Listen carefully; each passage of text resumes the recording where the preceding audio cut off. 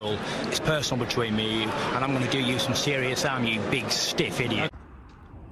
The Untouchable Tru School Sports Empire proudly presents something the boxing games are missing. Hey, what's going on? It's your boy BT, and I came here to talk some boxing with the thousands of Tru School Sports subscribers. All right, so I, have been wanting to make this video for like a couple weeks now. I just haven't had a chance to get around to it because I've been running around here in Japan like that, like that guy over there.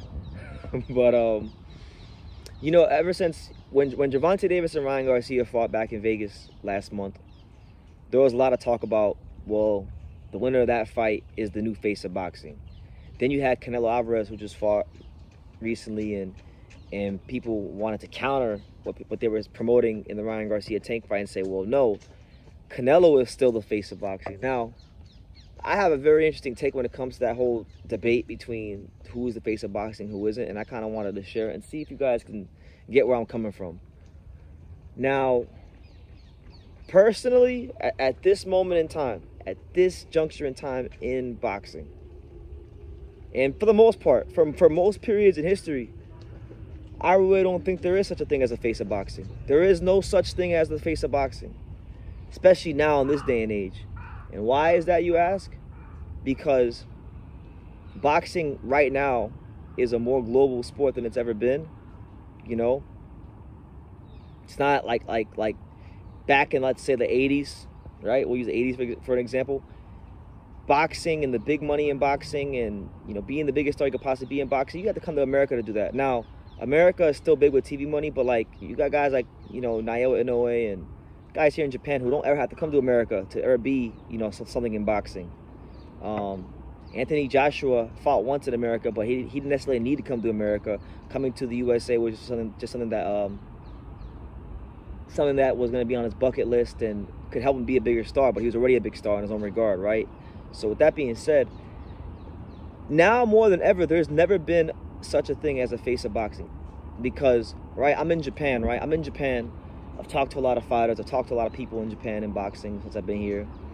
And there's many people in Japan that could give they don't like like the, the way a lot of you guys out there that don't watch the lower weight classes say, oh, we don't know who Inoue fought, we don't care about those weight classes.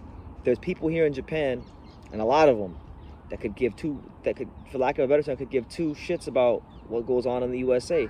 They got their own boxing that goes on here, so they don't really care as much about what goes on in the USA. So what I'm saying is this: Canelo Alvarez is, you could say, quote unquote, the face of North American boxing because he's a big draw in Mexico and USA. But he ain't the biggest fighter in Japan.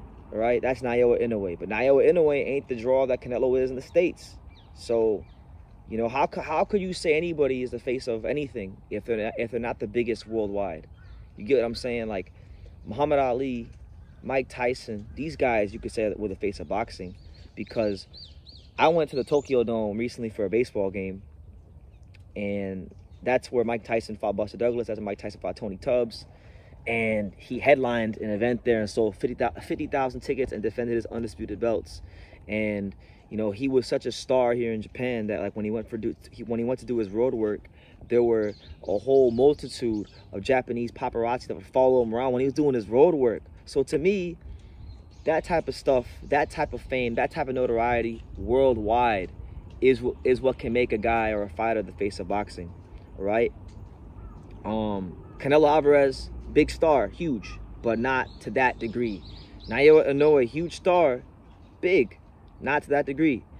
Um, in order for someone to be the face of boxing, for me, right? If if, if there was such a thing right now in boxing, because there isn't, there is nobody in, in boxing that is that. If there was such a thing, they would have to start fighting beyond just, you know, what is it, uh, North America, right? Because most of boxing is North, North America. But I feel they would have to literally, like, they would have to be a big draw in North America, be a big draw in Asia, be a big draw in, like, um, Europe, you know, different.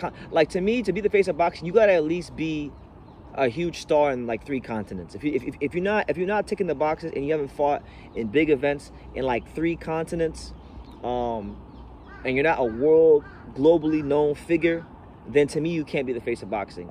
And I know that's a high I know that's a high standard to set, but when but the term the face of boxing is a is a high claim to give to somebody and it's not something that should just be handed out lightly because you're a fan of Canelo and you want to make him seem like he's the be- he's better than a lot of other fighters so you want to claim he's the face of boxing? No it's not how it works.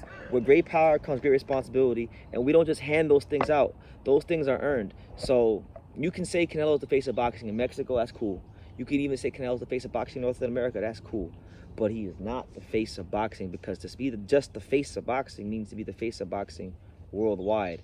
The way muhammad ali was the way mike tyson was um, you know the way maybe even a guy like manny pacquiao was. I mean, even even like a floyd. I know floyd only fought in the states but floyd's floyd fought guys like ricky hatton who's from the europe like Manny Pacquiao, who's from the Philippines. He fought guys from, who were already global stars from bigger continents and did record-breaking type of events with them. So even him, to a degree, you can say is the face of boxing because he's one of them guys that where if you've watched boxing in the last 30 years, you know his name. So I would even say to a degree Floyd. You could even say Floyd, Manny. Those guys you could also had claims to be the face of boxing in a more modern sense, but not Canelo. Okay, not Tank. All right, not none of them. Not Anthony Joshua. None of them guys are the face of boxing. They got more work they got to do, right? Because Anthony Joshua's a big star in England. Anthony Joshua has done pay-per-view numbers in England. He's done huge events in, in the Middle East. He's a star, a huge star. But he ain't that star in America. And my criteria is you got to be a star in three continents, a huge star on three continents. Anthony Joshua ain't like that in three continents. Okay? So I'm gonna leave it at that. I'm gonna leave it just like that. That's that's what I think. That's my criteria. That's how I view it. I I, I view that term as a very very high um, title to hand out, and it's not something I just hand out to a guy I like or a guy who just sells a lot of tickets. Because there's a lot there's a lot of guys, right? If if because if, if, you want to keep it all the way a, a, a hundred, right? A lot of the Canelo fans that want to say he's the face of boxing because he sold a lot of tickets in Mexico. Okay, Florian Marku who, who's from Albania. Some, some of you guys probably don't even know who Florian Marku is. Florian Marku is an Albanian welterweight who probably who, who will probably never be a top 10 wel, uh, welterweight in his entire career. You know, he'll be lucky if he ever gets to that level. But in Albania, he's a huge star over there. The guy can fight in a soccer stadium and put 30 to 40,000 people in there. All right? He's done it before. So could I say he's the face of boxing because he sells a lot of tickets? No, I would sound like an idiot because it's only one country he's a big star in that country. He's got a big base in that country, but he's not a global star like that, you know. So we have to be very specific, and we. I think if if if you're calling anybody the face of boxing, you have to really specify what your criterias are, and be very um consistent with that. Because to, with me, right now, nobody meets my criteria for that, um, and that's what it is. Now, Canelo. Canelo were to go fight in the Middle East or or Japan, something like that, and sell it out, then we can say he's the face of boxing. But he ain't there yet, so I'm gonna leave it at that. And the same, and that, and that, and, and I, I don't, I don't just apply that to Canelo. I apply that to Tank, who I like a lot. I apply that to Anthony Joshua, who I'm a big fan of. That's not just ex ex exclusively to Canelo. So, um, has there been a face of boxing before? Yes. But is there a face of boxing now? No. And for the most part, there really has never been a face of boxing because boxing is a very global sport and there is many faces of boxing okay? There's like like think about the 80s right? Think about the 80s and the 90s some of the great fighters that, defined that time. Evander holyfield mike tyson salvador sanchez julio cesar chavez um naseem hamed uh, who else is there? You know hideki ohashi you know i'll just name a japanese fighter since i'm in japan.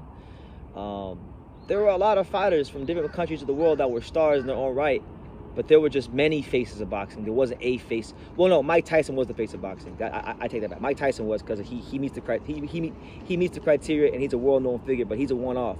For the most part, boxing is a global sport with many faces of boxing, but not one singular faces of boxing. And not even just that. I'm gonna leave it. I'm, I'm, gonna leave it on this note because this is a long-winded video, but um the television structure of boxing is not even the same as other sports, right? So you can't even compare it to like the NBA or soccer or, or other big sports, you know, globally. You know, like in boxing, it's hard for Japanese fans to watch certain American fights, and it's hard for American fans to watch certain Japanese fights, and vice versa. Sometimes, depending on the country you're in, it's hard to even have accessibility to some of these fights. So, because boxing television programming is so fragmented, and a lot of these fights are being put behind a paywall, how could there possibly be one face of boxing if the fights aren't as accessible as other sports? I mean, just just you don't gotta agree with what I'm saying, but just think about what I'm saying globally. Think about what I'm saying. You know. Anyway, that's my that's my take. Shout out to all the faces of boxing: Canelo, Inoue, Joshua, Roman Gonzalez in Nicaragua, Florian Marku in Albania, everyone, Tyson Fury, everyone who's doing their part to keep this sport that I and you love oh so dearly. Shout out to all of them because without them being stars in their respective countries and making this sport, you know, big in their countries where they're from, you know, same thing for Tank Davis, same thing for, you know, even the Spence and Crawford to a degree, same thing for Wilder, um, Benavidez as well, Plant, you know, without these kind of fighters, boxing wouldn't exist. So I appreciate everyone from everywhere, you know, who is a face of boxing in their respective country. But the, right now in boxing, there is no face of boxing globally. And I want to make that very clear. So let me know what you guys think in the comments down below.